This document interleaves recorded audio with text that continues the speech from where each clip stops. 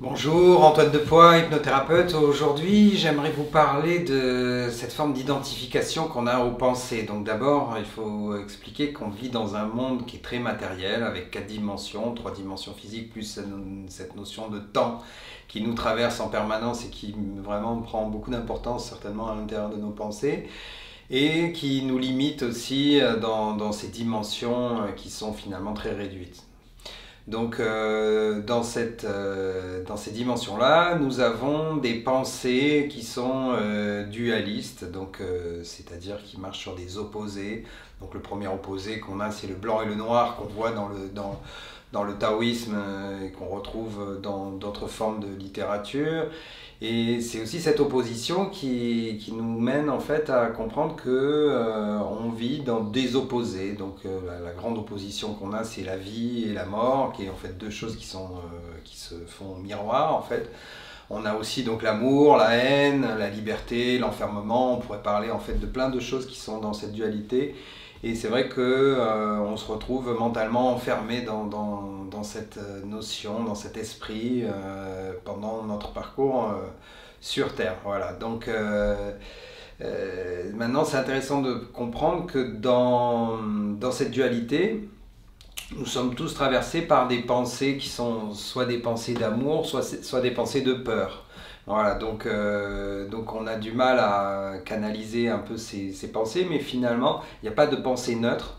On est toujours euh, dans cette dimension intérieure qui renvoie finalement à des énergies qui sont euh, soit très positives, soit très négatives. Bien sûr, quand on crée des pensées d'amour, on est dans, dans, cette générosité qui nous permet de pouvoir nous sentir bien. Et dès qu'on crée des pensées de peur, en fait, ça s'amplifie en nous et euh, cette peur devient euh, presque toxique à l'intérieur de notre corps. Voilà. Donc ensuite, je voulais parler de, cette identification euh, à notre mental. Donc notre mental, en fait, a besoin d'exister. Donc c'est notre ego, c'est cette petite voix intérieure hein, qui est inconsciente, qui nous parle en permanence, dans lequel on retrouve, comme je l'ai dit juste précédemment, notre critique intérieure. Et donc cette petite voix, euh, cette dimension, donc notre ego, a besoin d'exister. Pour exister, mais en fait, il crée des émotions négatives euh, qui sont euh, brassées à l'intérieur de ce champ d'information.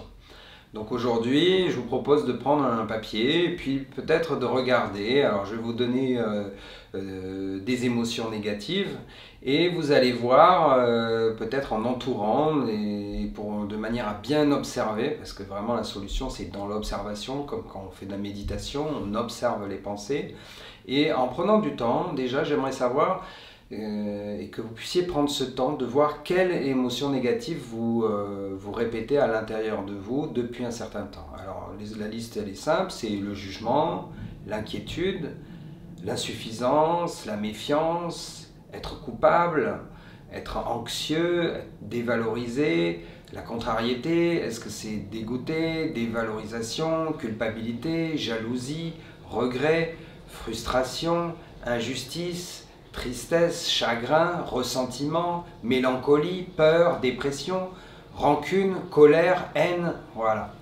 Donc prenez le temps de regarder et d'entourer euh, sur un papier les émotions que vous brassez à l'intérieur de votre corps, peut-être depuis des années et des années sans vraiment en avoir bien pris conscience.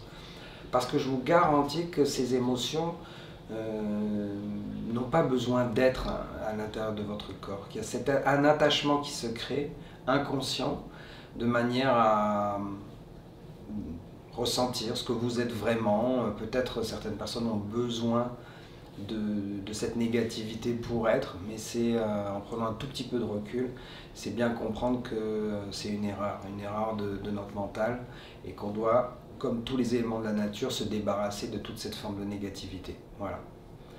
Je vous dis à très bientôt. Au revoir.